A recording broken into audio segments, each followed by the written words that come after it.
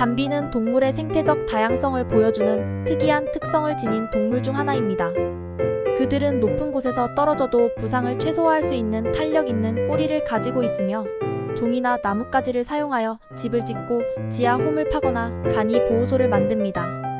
머리와 등에 있는 독특한 모자이크 모양의 모피는 먼지와 환경에 적응하도록 도와주며 다양한 음성으로 의사소통합니다. 물을 통해 청결을 유지하는 것을 선호하며 이러한 특이한 특성들은 담비가 생존과 번식에 효과적으로 적응하는 데 기여합니다. 담비는 동물의 생태계에서 독특한 역할을 수행하며 그들의 특성은 자연 환경에서의 적응과 균형을 유지하는 데 중요한 역할을 합니다.